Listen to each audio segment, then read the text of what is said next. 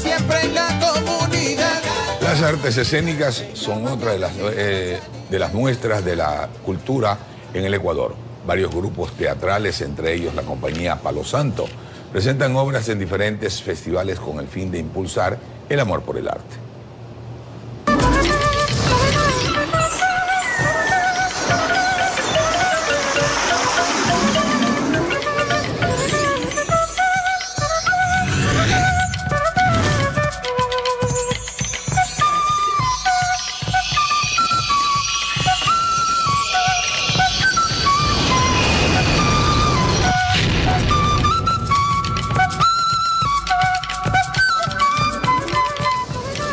Tal televidentes? Bienvenidos a una nueva entrega de Ecuador Multicolor. Soy Gemma Cantos y los acompañaré en este espacio. Hoy precisamente hablaremos del teatro, una de las artes más importantes que tenemos y para esto nos acompaña Raimundo Zambrano. Él es el director del grupo teatral Palo Santo. Cuéntenos un poquito cómo se ve el arte en Manabí. Muchísimas gracias. Eh, qué bueno estar hablando de teatro en televisión y en un programa tan importante que habla de, de eso que también somos en Manabí y en Ecuador. Bueno, el, teatro es un referente importante para el país en nuestra provincia y nuestro grupo Palo Santo pues, tiene muchísimos años. Yo trabajé en, en, el nacimiento del teatro en el grupo La Trinchera hace bueno, más de 30, como 35 años ya y para nosotros representa pues, eh, una de las fortalezas que culturalmente eh, tiene o que apoya a Manabí, eh, donde se apoya el, arte escénico y representa muchísimo sobre todo estar con, con una nueva generación de, de, actores, de actrices, en este caso tres jovencitas que están eh, haciendo teatro y que han empezado con pie derecho, ya lo van a ver hablando de las nuevas generaciones para el arte, en cuanto al teatro, ¿cómo se ve reflejada esta en los jóvenes, el teatro específicamente? Bueno, eh, siempre hay la inquietud de la actuación, a veces no desde el referente del teatro, sino desde la televisión o desde el cine, que en definitiva es la misma, la actuación es una sola, los códigos cambian obviamente. Y todo el mundo quiere actuar, quiere tener un espacio y lo han encontrado en este caso en, en, en nuestra Universidad de Loyal Farm, el Departamento de Cultura, donde eh, damos clases de teatro, donde damos talleres permanentes, donde ellas se inscribieron a este, a este taller. No teníamos como ninguna pretensión al inicio, pero después, viendo el, talento que tienen ellas, que ya lo van a ver ustedes eh, eh, en escena, surgió pues la idea de montar unos trabajos unipersonales, que es lo que vamos a mostrar ahora, y mm, tenemos, antes de estrenar ya tenemos varias invitaciones, vamos a estar en Loja, en, en, el inicio del Festival Internacional que va a haber una muestra universitaria y en varios cantones de nuestra provincia. Y hemos empezado con pie derecho, eso es muy importante. Y en Manabí, eh, o hablemos del país en general, ¿se está dando el apoyo necesario para la realización del teatro? En bueno, cuanto a espacios hay, también podríamos. Hay siempre, mm, quedamos, nos quedan debiendo, porque el, teatro, bueno, tiene un proceso que es largo, es decir, desde la concepción, desde formar un grupo y desde la, formación de un actor. Es como ser un doctor, como, como formar a, un, a cualquier persona en cualquier profesión. Entonces esto no es de la noche a la mañana. Y en ese trayecto hay gente que empieza muy bien y que a los dos años de pronto estudian y se gradúan y, y se van, o sea, se retiran. Es muy difícil eh, hacer un grupo profesional y mantenerlo tantos años. Y mmm, yo creo que en, en no todas las instituciones, no todos los gobiernos locales apoyan el teatro eh, como se debería y entonces por eso eh, hemos encontrado nosotros un aporte en la, en la, universidad que es como la más llamada a, a apoyar estas iniciativas artísticas. ¿Es difícil ser actor? ¿Se nace o de pronto con el transcurso de los días? Mira, es, es eh, tiene todas las dificultades que tiene cualquier profesión.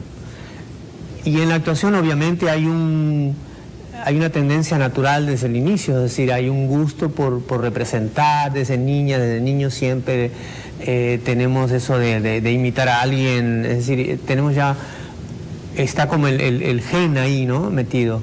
Y cuando no tiene la oportunidad, pues ya lo expresa.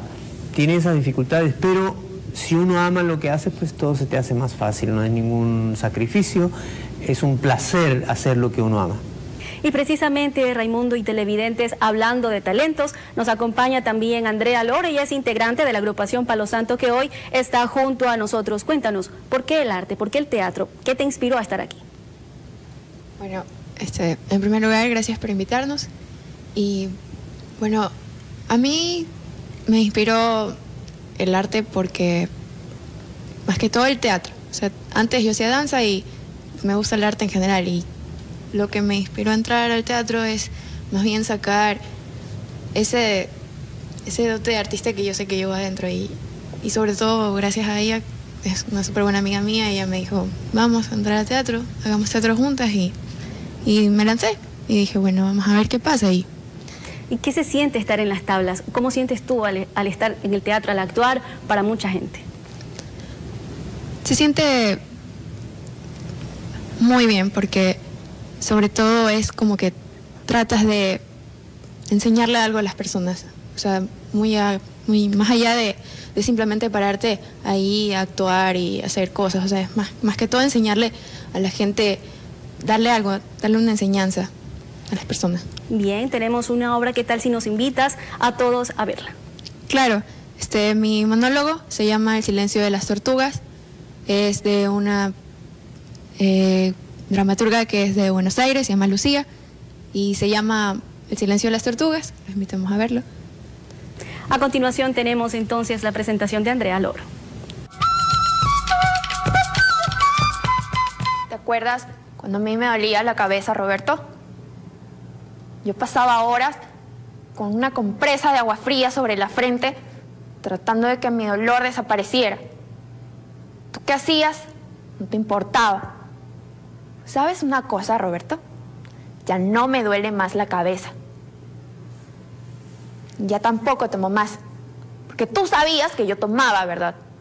Tú sabías que en ese closet, donde la ropa estaba bien bonita, guardada, ahí, ahí yo guardaba mi botella de vodka. Y a ti no te importaba. Perdí mi segundo embarazo. Y cuando tú estabas a punto de llegar, como no soportabas verme llorar, yo me tomaba unos tragos. Ojalá hubiéramos adoptado un bebé. Cuando yo te hablé de la idea, ¿tú qué hiciste? Me regalaste una tortuga. Katy, ¿tú sabes lo silenciosas que son las tortugas? Roberto, ¿sabes? Yo pasaba horas con mi oreja pegada al caparazón tratando de escuchar un sonido. Nada, nada de nada. Te traje estas flores. Son las más parecidas a las naturales que encontré. Y ahora yo me voy de viaje. Porque ahora soy feliz. Todo es diferente.